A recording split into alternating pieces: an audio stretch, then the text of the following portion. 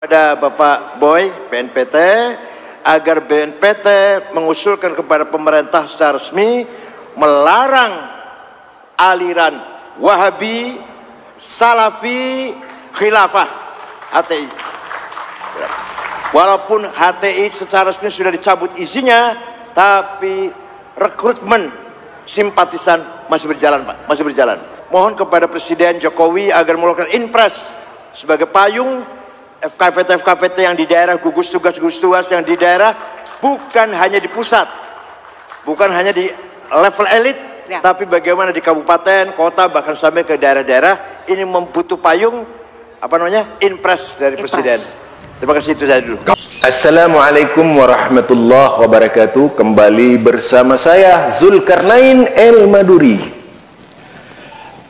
Perbincangan kali ini terkait dengan sebuah permasalahan yang dimunculkan oleh kelompok Nahdien. Kita tahu di Indonesia ini ada banyak ormas, memang yang terkenal itu ada tiga, ada empat ya yang terkenal itu. Di antaranya Muhammadiyah, NU, Persis Al-Irsyad. Jadi NU Muhammadiyah Persis Al-Irsyad. Persis itu adalah Ittihadul Islamiyah. Persatuan Islam. Kalau berbicara Muhammadiyah NU Persis Al-Irsyad sudah pasti ada berbagai ada sudah ada empat pendapat yang bisa berbeda.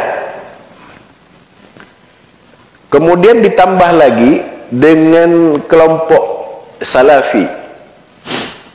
Ya kelompok salafi ini yang sering kali mendapatkan sorotan dari NU ya kita sebut saja NU karena memang yang paling depan jadi imam anti wahabi ini NU ya.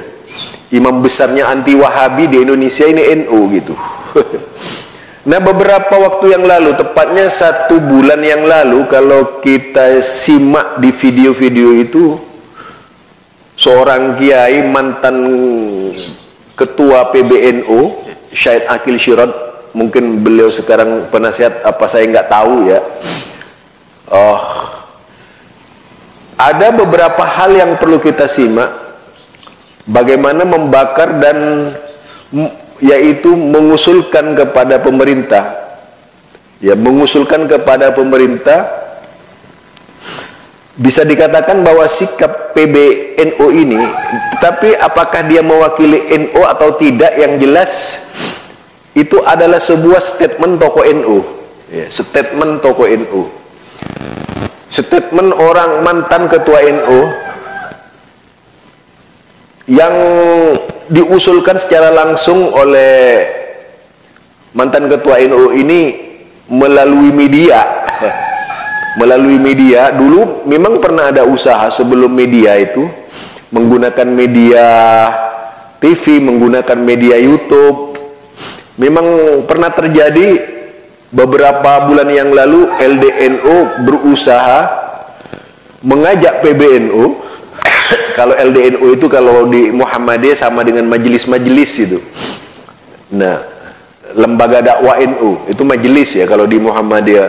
Kalau di Muhammadiyah juga ada namanya uh, yang disebut dengan lembaga dakwah khusus pimpinan pusat Muhammadiyah. Ini lembaga dakwah NU yaitu Nadatul Ulama karena memang ini melibatkan NU, melibatkan ormas ya kita terpaksa juga berbicara NU gitu. Apa keterpaksaan kita berbicara NU karena NU terlibat melibatkan NU gitu. Nahdien melibatkan Nahdien melibatkan ormas.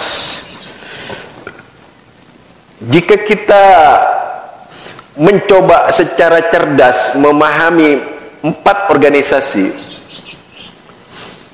yang sering galau di Indonesia ini ya NU paling galau itu organisasi paling galau di Indonesia itu NU dan tidak malu-malunya mereka ini dengan sikapnya yang arogan menuduh orang lain arogan. Tapi kalau kita melihat dae-daenya sekelas Islah Barawi, Said Akil Syurat, itu kan arogan tuh, penyampaiannya arogan. Radikal. Jadi dia radikal juga cara berpikirnya gitu. Entah apa yang motifnya, tadi saya katakan yaitu beberapa waktu yang lalu saya katakan ini ber, mungkin saja berada di bawah naungan Ahbasi. Ahbasi ini adalah sebuah organisasi Islam yang sekupnya internasional memberikan biaya kepada seluruh anti Wahabi, memberikan dana ya. Jadi bisa saja itu terjadi. Sebagaimana tuduhan mereka kepada Salafi. Mereka ini juga mendapatkan dana, cipratan dana dari Ahbasi. Kejahatan mereka ini luar biasa. Jadi memang yang dituju bagaimana menggambarkan Wahabi sejelek-jeleknya kepada umat Islam dengan cara mereka.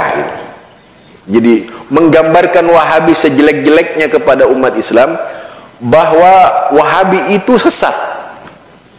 Menggambarkan sejelek-jeleknya Wahabi kepada umat Islam bahwa Wahabi itu tidak sesuai dengan Al-Quran dan As-Sunnah. Kemudian di satu sisi mereka mengunggul-unggulkan kelompoknya bahwa kelompoknya ini pemegang kunci sorga. Wah hebat ya. Pemegang kunci sorga. Siapa saja yang masuk melalui pintu mereka akan masuk surga. Ditawarkanlah berbagai macam solusi oleh NU ini melalui tokoh-tokohnya tadi. Solusi di dalam rangka memudahkan langkah-langkah politisnya itu harus menebas berbagai macam ormas yang tak sejalan dengan NU. Nanti ujung-ujungnya itu bisa melirik ke Muhammadiyah, ke Persis Al-Irsyad. Ini sangat apa ya? Kita tahu bahwa NU itu pernah menjadi partai politik gitu. NU ini pernah menjadi partai politik. Sehingga sampai sekarang meskipun NU membebaskan dari dunia politik, masih banyak sekali tokoh-tokoh yang bersosok politik. Dia sebagai seorang politisi, bukan sebagai seorang ulama. Dia bermain api di NU itu. Bermain api tadi. Di antara salah satunya menuduh gerakan Syekh Muhammad bin Abdul Abdul Wahab sebagai politisi. Padahal mereka lebih dari seorang politisi gitu. Ini yang lucu kalau menurut saya. Jadi sangat lucu sekali apa yang disampaikan oleh mereka. Mereka ingin menampar orang lain padahal mereka tukang tampar. Eh, mereka ingin apa? Uh, menampar orang lain padahal mereka ini merasa selalu ditampar gitu. Itu yang kalau kalau kita cermati ya dari dari dari NU. Jadi NU ini memang kalau dilihat situsnya itu, aduh, situsnya memang ngajak perang itu. Situs resminya paling mendapat sorotan, paling mendapat sorotan itu adalah tadi itu paling mendapat sorotan adalah Wahabi situs resminya mereka kalau dengan si A berbagai macam cara dipakai untuk pendekatannya itu karena memang cipratan dana dari si A barangkali sangat besar ya. Barangkali tidak menuduh barangkali. Barangkali di sana ada jawabnya. barangkali ya. Mengapaku di sana terjadi bencana? Mungkin Allah mulai bosan melihat tingkah kita. Kalau nasid seperti ini nggak apa-apa ya. Yang dilarang musik gitu. Hah, itu intinya ya. Apa yang dilakukan oleh Syed Akil Sirat mengusulkan berbagai rasa kegalauannya itu kepada pemerintah, mendesak pemerintah. Tapi Saran saya kepada pemerintah, pemerintah jangan bunuh diri. Pemerintah itu kan banyak orang-orang cerdasnya. Bandingkan saja siapa sebenarnya yang lebih radikal dengan orang yang suka membubarkan pengajian. Siapa sebenarnya yang suka mengadu domba. Nah, coba selama beberapa dekade Indonesia ya, mulai dari zamannya Pak Harto, zamannya zamannya Pak Harto, terus zamannya Habibie, zamannya Gus Dur, zamannya Megawati, zamannya SBY. Islam di Indonesia ini damai-damai saja. Mengapa kemudian setelah zamannya Jokowi ini ada kecenderungan oleh suatu kelompok memaksakan kehendaknya kepada presiden supaya paham-paham yang tak sesuai dengan mereka ini disuruh basmi. Artinya agar dikubur gitu. Ini apa maksudnya ini gitu. Ini sangat politis. Perjuangan politik mereka kita tahu bahwa di zaman tahun 1955 NU itu pernah menjadi partai politik. Jadi mereka masih bermimpi sebagai partai politik. Ya, bermimpi sebagai partai politik. Itulah sebabnya sampai sekarang gagasan-gagasannya persaingannya bersifat politis, bukan lagi masalah paham. Bukan lagi masalah paham kalau kalau kita melakukan pelacakan terhadap terhadap apa e, setiap pendapat-pendapat yang dilontarkan tidak lagi merupakan paham. Apalagi kalau berbicara Idrus Ramli misalnya. Wow, itu sampai mengumandangkan perang. Mengumandangkan kebencian, perang dan sebagainya. Menyerukan perang kepada umat Islam agar memerangi Wahabi. Seolah-olah Wahabi itu orang kafir gitu.